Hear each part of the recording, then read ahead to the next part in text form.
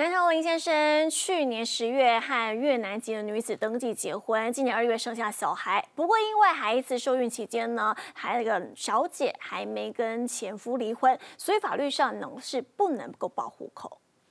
林先生和越南籍太太细心照料小男婴，一家人感情和乐融融。不过，他们为了男婴的户籍问题相当苦恼，因为阮小姐原本在越南有过一段婚姻，在台湾怀有男婴的时候和前夫还没离婚。嗯，阮某伊的受孕日期，甲伊出生的，甲小孩子出生日期对袂起来，因翁伫越南那边，有生一个囝。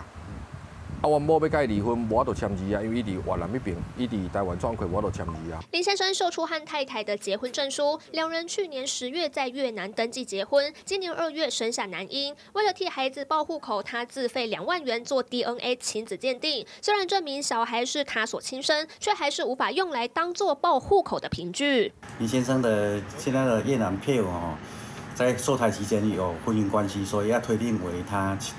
前夫的婚姻生子女是要提起否认之诉哦，在确定。